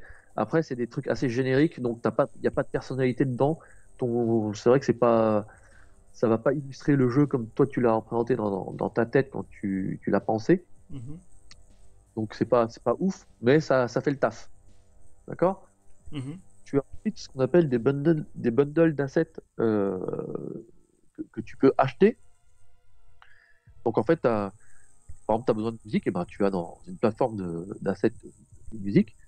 Tu, tu choisis ton type de musique, plutôt rock, plutôt métal, plutôt euh, euh, électro, et euh, il te propose, voilà, il y a- on te fournit genre euh, Une bibliothèque, ouais, de, de sons voilà, tout ça. avec, avec, une vingtaine de musiques Qui sont pas sous droit, en fait, là, par contre. Donc- ce style-là. Si, si, tu- mais tu les as payés. Donc Ah, le bah, droit tu les as payés, d'accord. Donc là, c'est Voilà. pas du plagiat, alors. Voilà, c'est pas du plagiat. Je te dis juste les, les solutions que tu as euh, accélérer ton développement euh, au lieu de faire du plagiat, tu vois. Ok. Donc tu as ces solutions-là. Donc tu peux, tu peux les payer, tout comme les graphismes. Tu as Ah la oui. même chose en graphisme, tu vois. Tu peux payer un, un pack de graphismes, mais par contre, ouais. Ton jeu, il a, il a pas de personnalité, si tu veux. C'est ça, Si ça, tu crées ça. tes personnages avec tes musiques, tes situations de tension, ton scénario, euh, faut des trucs un peu plus custo, quoi, tu vois. Mais les gens qui, euh, les gens qui utilisent SGDK justement avec euh, des sprites qui ont été importés par un amateur qui n'a pas. Est-ce que, est-ce que le créateur du SGDK lui a déposé en fait ses, ses créations dans le logiciel, ses assets, tout ça, ou alors il, il donne ça gratuitement aux gens, tu, tu sais, tu sais Non, pas? ça ça n'a rien à voir. Non, faut- faut- faut- Le, le, le SGDK, c'est le, le kit de développement sur la Mega Drive. Oui. C'est- bien ça. Oui, mais il a créé des assets, il a créé des, des mouvements, il a créé des, il a créé des, il y a des graphismes à l'intérieur, hein, je crois. Celui, celui qui, a, qui a mis en place le. le... C'est pas un moteur en fait, c'est un kit de développement. ça Oui, oui, oui. Mais dedans, il y a des assets. Est-ce que, est-ce que c'est déposé en fait son logiciel euh, Les gens qui l'utilisent, ils payent pour ça? Si son logiciel est gratuit, tout ce qui est dedans est gratuit. D'accord, ok. Tu peux l'utiliser. Et il le fait en connaissance de cause. Je crois que c'est un Français qui l'a fait, non? C'est pas. Je sais plus le nom en fait. Bon, bref, peu importe. Euh, C'est un kit de développement, faut, faut que tu vois ça comme. euh, en fait, c'est quelque chose qui te permet de communiquer avec la machine. Ouais, c'est un outil, bien sûr. C'est pas, c'est pas un moteur de, de jeu vidéo.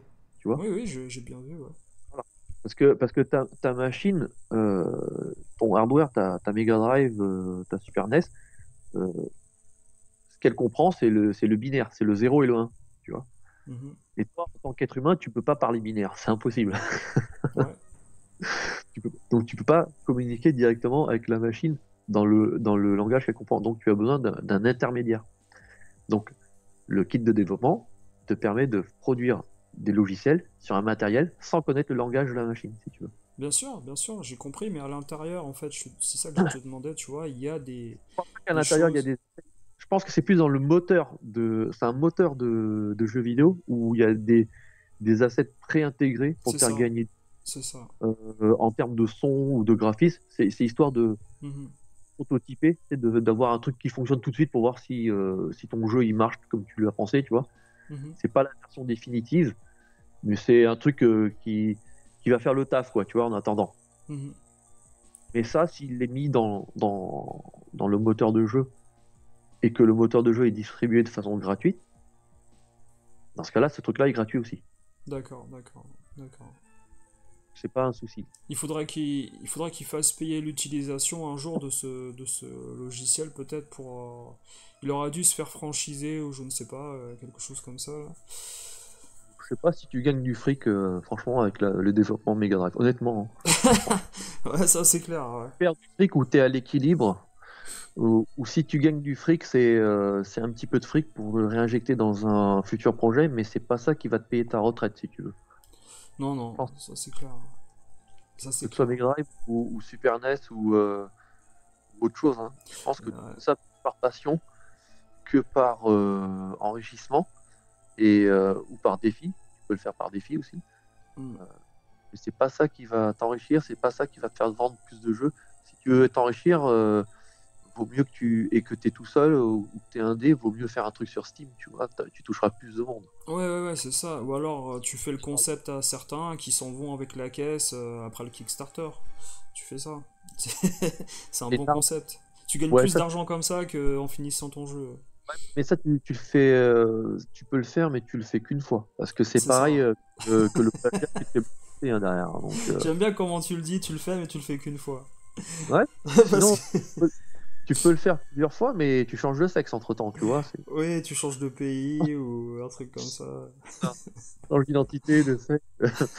et- Non, mais il y a de- des artistes, hein, tu sais. hein, euh, un jour, il s'appelle euh, Katana, euh, Katana Project. Le lendemain, c'est euh, Bandana Project. Et c'est les mêmes, en fait, tu sais, mais ils reviennent. Je sais pas. Non, mais Bah. Après, c'est comment dire, quand, on- quand tu essaies de lever de l'argent aux gens, c'est aux gens qui te donnent l'argent de faire attention aussi à qui le donne. c'est ça. C'est Tu ça. peux pas, tu peux pas euh, faire attention à la place de ceux-là, tu vois. Tu peux pas Oui, surveiller truc oui. de tout. C'est impressionnant hein, parce que quand tu vas sur les forums, tu vois, enfin les forums, tu vas sur YouTube ou ailleurs, tu vois des gens qui disent j'ai donné euh, 120 euros en 2020 à, à un tel pour tel projet, j'attends toujours mon jeu et il n'y a plus de nouvelles. Donc je- je- ces gens-là sont exceptionnels. Il, il paraît qu'il y a plus d'une quarantaine de jeux par an qui doivent sortir dans le monde sur ces vieilles consoles là, qui sont avortés quoi, tu vois. Ouais, bah, après, faut voir aussi que euh, ils ont pas choisi la voie la plus facile, Ouais. parce que en termes de, de production de jeu, il vaut mieux faire du démat à l'heure actuelle et sortir un jeu quitte à, à attendre un petit peu qu'il se fasse, euh, euh, enfin que tu, qu'il se fasse remarquer et que tu te fasses contacter par, euh, par des éditeurs pour une version physique plus tard. Mhm. Je à- il me semble que c'est Cuphead qui, Qui avait qui- fait qui ça a- il y a aussi Shovel Knight, il me semble. Ah, d'accord. Euh, donc euh, le chevalier, euh, le la- jeu de plateforme, avec sa pelle, avec- ouais, ouais, sur, Switch, là. Ouais. voilà, avec les graphismes 8 bits. Mhm. voilà, enfin, vaut mieux que tu le sortes en démat. T'as pas à gérer la production derrière, tu vois. Mhm. Faire le développement et ça s'arrête là. Ouais, ouais. Parce que t'as tellement à faire avec la gestion de la com et du marketing. Mhm. Après la, la fin, à la fin de ton développement, t'as ça en plus à gérer derrière que de te prendre la tête avec le, la commande de, de composants, Ouais. euh, l'assemblage, le stockage, le packaging, Ah, la Dieu. Distribution, l'envoi. Ah, c'est une, prise de tête, euh, jamais en fait. Moi, c'est. Enfin, Alors. vas-y. Je dis chapeau aux mecs qui ont réussi à sortir une version physique. Parce Ouais. que moi, je le ferais pas. Ouais. J'aimerais le faire. Moi, je suis, je suis, je suis plus euh, matériel physique que, que des maths. hein. Mhm. J'aimerais bien le faire, mais je le ferai pas. Parce Mhm. que, en tant que petit studio ou petit indépendant, euh, j'ai pas le temps ni les moyens de le faire. Après, regarde, c'est- pareil, ces retards-là, pourquoi euh, euh, il y a du retard dans les livraisons? Est-ce que c'est pas une capacité de stockage? Est-ce que ton garage, en fait, que tu pensais suffisant au début, il, il- il ne suffit pas finalement à gérer la, la, la popularité de ta commande, enfin de- du nombre de tes commandes derrière hein? Oui, Euh, Aussi, mais je pense que c'est pire que ça, c'est que tu l'as dit au tout début, c'est qu'ils sont sur un système pyramidal où euh, les premiers investisseurs servent à euh, faire la promotion du titre pour de nouveaux achats et ensuite les, les, suivants euh, qui vont investir euh, vont comment dire recevoir les comment dire leurs éditions collector en premier et ainsi de suite, si tu veux, l'argent par les nouveaux investisseurs va servir à fournir les, les tout premiers de la chaîne à chaque fois, tu vois, les, enfin les derniers. C'est une erreur de faire comme ça. Bah, Moi, pas je, connais un gros studio qui le fait. Je, je dirais Ouais, pas bah, non, mais moi, je, je, je ne ferai pas comme ça en tout cas. ouais. Parce que, parce que, parce que justement, derrière, euh, si tu peux pas euh, assurer derrière Hmm, la livraison, en, en gros, si tu peux pas Mm. euh, concrétiser la vente, ouais. ça va te porter préjudice. Ouais, ouais, ouais, ouais. Ça va te porter autant préjudice que si tu sortais, euh, je sais pas moi, un, un, un hardware de mauvaise qualité Mm. et qui tombe sans arrêt en panne et que tu as sans arrêt des retours euh, Ouais, vrai. Euh, en SAV et, et voilà, c'est- le même type de préjudice. Et, et ça, ton prochain truc, euh, peu importe la hype qu'il va générer, Mm. eh ben, il sera entaché de ça. Moi, je ferai pas comme. Moi, je, je pense que ce qu'il faut faire, c'est euh, l'erreur. Enfin, l'erreur à pas faire, c'est de pas s'organiser en termes de budgétisation. Tu vois, c'est-à-dire que quand tu fais une campagne de financement participatif, il faut clairement que tu aies ta stratégie euh, de, budgétisation euh, qui, qui soit viable. C'est-à-dire que tu sais que si tu lèves tant d'argent, tu vas embaucher, il y aura 20% qui aura graphiste, 20% qui aura développeur, euh, 10% qui, qui, qui iront euh, euh, aux testeurs et 50% qui vont rester, qui vont aller au marketing. Ouais. Et tu dois, et tu dois faire ton jeu dans, dans ce cadre-là. C'est-à-dire que tu dois faire des coupes dans ton jeu si tu n'as pas, si pas atteint l'objectif euh, que tu Mhm. t'es fixé pour, euh, pour avoir le jeu idéal. Mhm. Et ça se passe comme ça dans n'importe quel métier. hein. Euh, dans, dans le, dans le cinéma, quand tu fais un film, à part Clint Eastwood qui sort les films en temps et en heure, voire même un peu en avance, et qui reste toujours dans ses budgets, Ouais. tous les mecs ils sortent en retard ou alors ils font des coupes dans leur film pour qu'ils sortent en, en- en temps et en heure. Et du coup, c'est pas le, le film euh, que, que tu aurais dû avoir initialement. Ouais, ouais, je vois. ouais. Et ben, en jeu vidéo, c'est pareil. Si tu, si tu penses que ton jeu, il va te falloir 100 000 euros pour faire le jeu idéal de tes rêves tel que tu te l'es représenté dans ta tête de, de, de concepteur, et ben ces 100 000 euros là, s'ils sont pas atteints, bah tu fais pas ton jeu, ou alors tu le fais pas euh, euh, euh, dans, dans cette échelle là. Il faut Mhm. dimensionner. C'est le plus important, c'est de dimensionner ton projet. C'est-à-dire que si, si tu, tu, prévois, tu prévois une campagne avec euh, 100 000 euros pour, pour le jeu- 100% du jeu, tu sais que si elle atteint que 50% euh, de ton euh, financement demandé, si elle atteint 50 000 euros, bah, soit tu sors pas le jeu, soit tu fais que 50% du jeu. Mhm. C'est-à-dire que tu enlèves la moitié des niveaux, ou la moitié des mécaniques, ou la moitié des personnages. Enfin, c'est à toi de te débrouiller pour que le jeu rentre dans ton budget. Mais en tout cas, tu dois pas te servir du budget que tu as reçu pour prolonger ton jeu, tu Mhm. vois. Ouais, ouais, officiel. bah, Ça, c'est mhm. c'est une mauvaise façon de faire. Ah, Parce que t'as pas, t'as pas de concret et t'as pas de. T'as pas de. T'as pas de date comment- limite, date butoir pour pas de terminer. Et de date de livraison. ouais. Mhm. Et ça, quand les gens ils investissent, ok, un financement participatif, il n'y a pas obligation de livraison. C'est une, une question de confiance. Euh, c'est pas un achat. Quand tu donnes de l'argent, tu, tu le donnes au zéro. Après, le système de palier et de récompense, c'est c'est si je le veux bien, tu vois, moi, en tant que, que déposeur de projet. C'est c'est moi qui le détermine, ça. C'est moi qui dis, ah oui, bon, bah, si tu as donné euh, 50 euros, tu auras un t-shirt, tu vois. C'est moi qui Mm. le veux, ça. Vois. Euh, c'est moi qui dis que si tu as, donné 100 euros, tu auras l'édition spéciale du jeu, tu vois, Ouais. euh, gratuitement.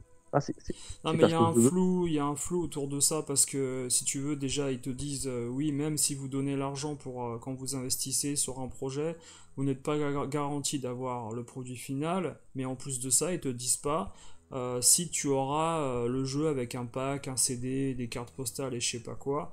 C'est une fois qu'ils ont eu l'argent de tout le monde pour concrétiser le début du projet qu'ils vont décider ou pas de t'envoyer euh, une édition collector, comme ils disent. mais c'est pas, pas comme ça qu'il faut C'est faire. Si tu regardes c'est bien, une grosse erreur.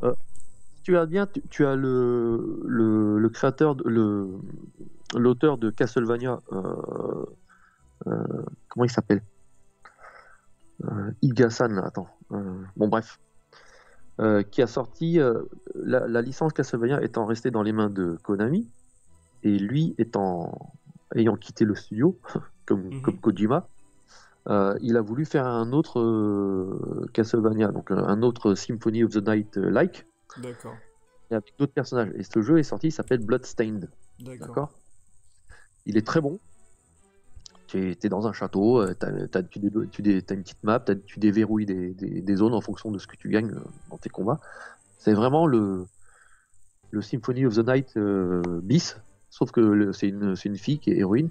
Mais à un moment même, tu rencontres un personnage avec un fouet, tu vois, tu te rends compte C'est a un plagiat, tu vois.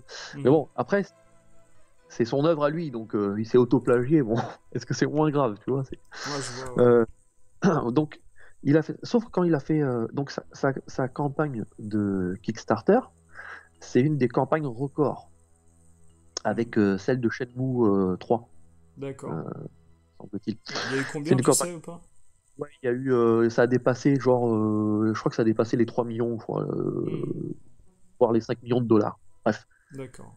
Sauf que quand, quand il a, dépo- quand il a déposé euh, son projet sur le Kickstarter, c'est-à-dire qu'avant que les gens ne puissent euh, participer au, euh, au projet avec leurs leur dons, il a clairement fait une page qui fait 2 km de long, qui décrit son projet de A à Z, qui dit, moi, mes références, voilà, j'ai fait Castlevania, j'ai fait ceci, cela pour ceux qui ne me connaissent pas.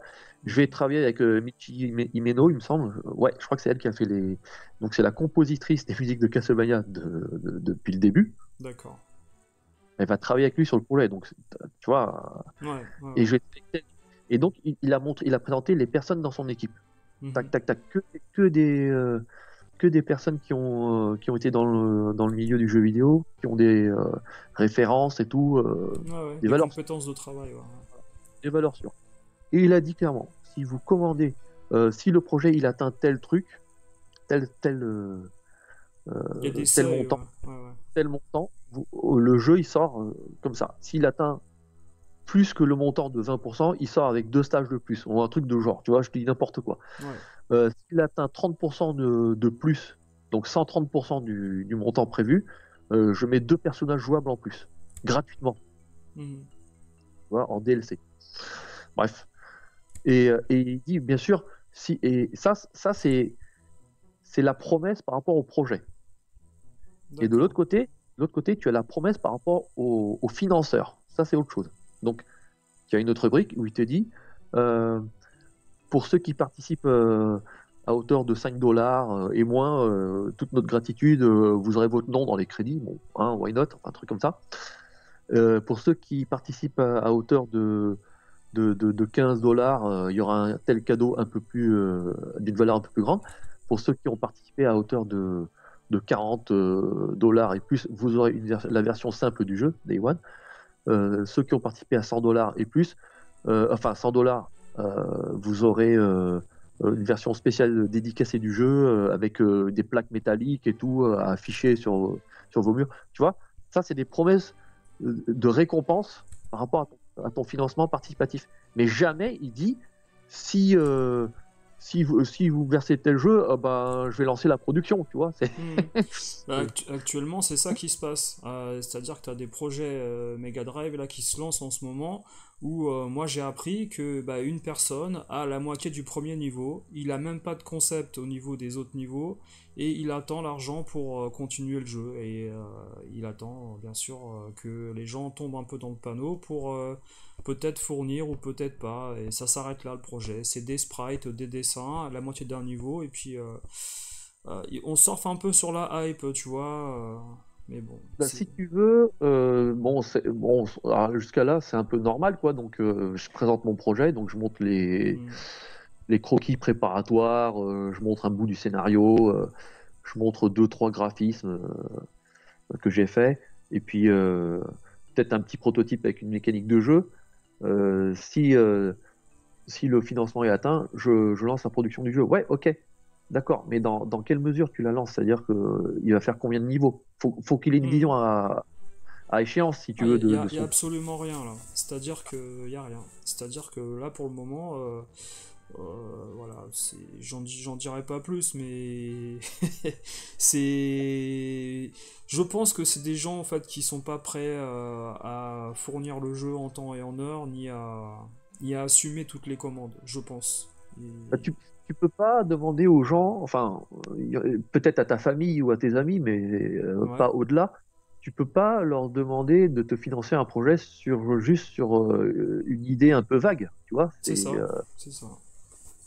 Pas possible. Ça, ça sera ta famille, euh, tes amis, ou alors tes fonds propres, tu vois. euh, Mhm. mais quelqu'un qui te connaît pas, il peut pas te faire confiance euh, que là-dessus. Mhm. Moi, moi, je pense que le minimum vital, c'est de fournir un niveau jouable. Oui, tu, m'as- tu m'as dit un- une tranche de, de gameplay, voilà, un slice. ouais.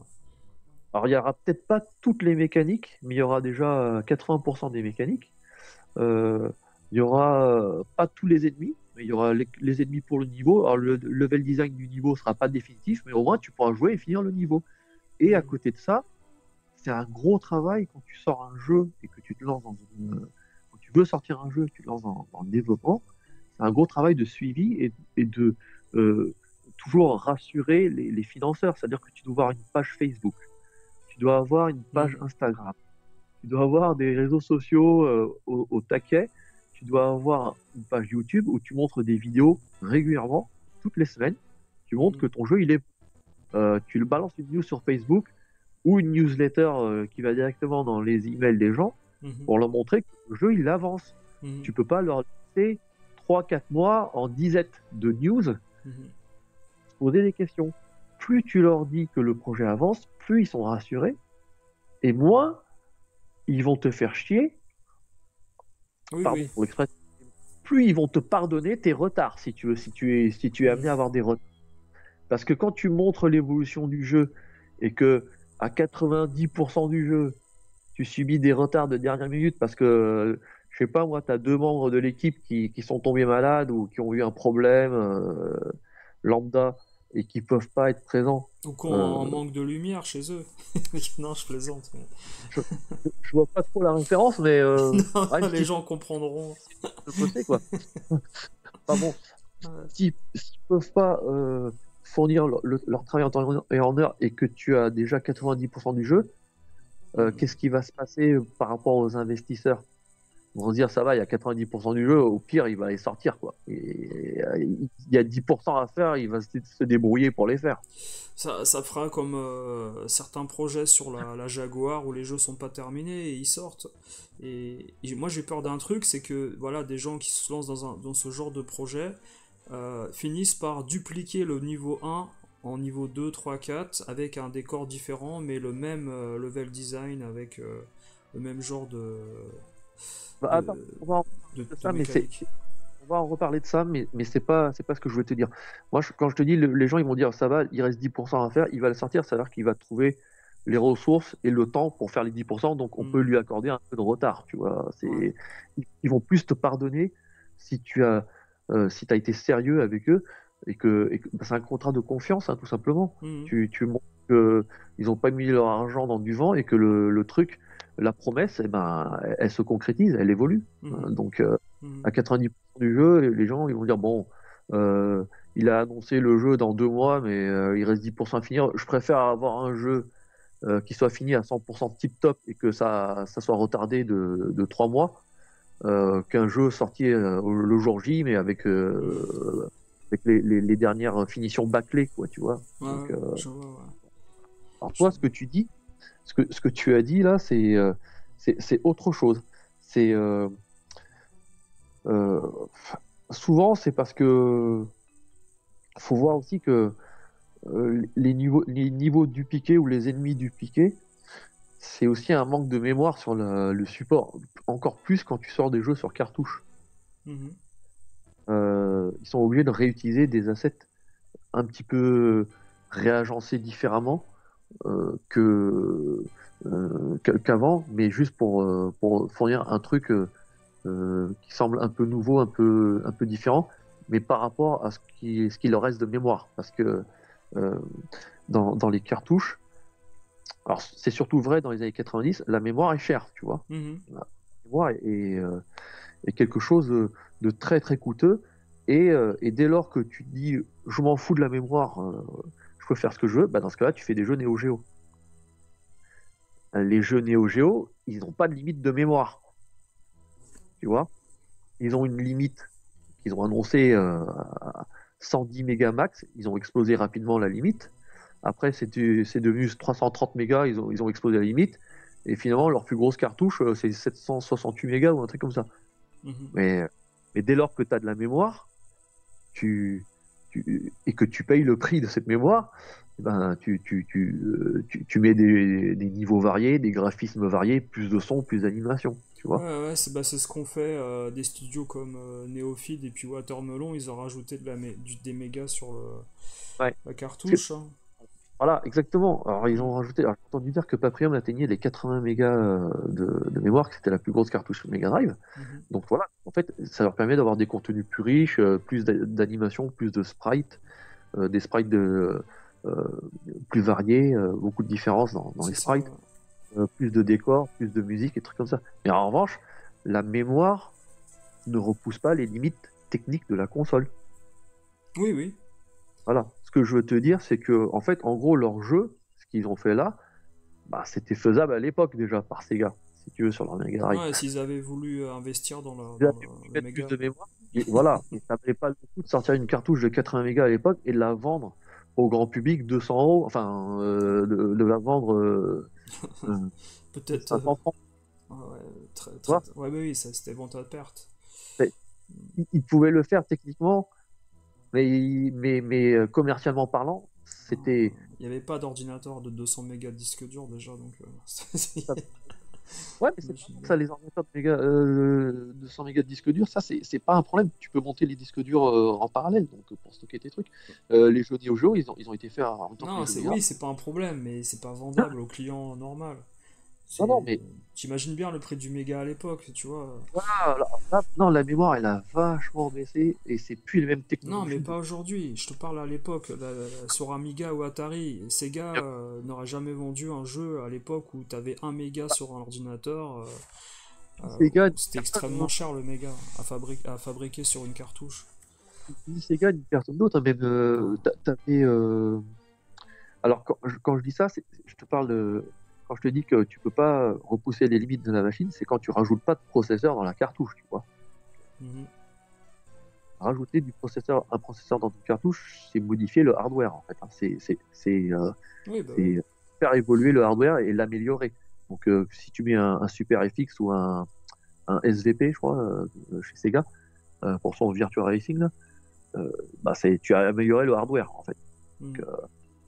Mais, mais, mais sinon, si tu mets que de la mémoire, oui, tes jeux ils vont être plus riches, plus grands, plus longs, euh, les sprites vont être euh, plus variés, tout ça. Tu auras plus de musique, mais, mais ça va pas changer. Ton, ta Mega Drive, elle, elle animera toujours que 80 sprites euh, à, à la fois, et elle, elle ira pas plus loin que ça. Mhm.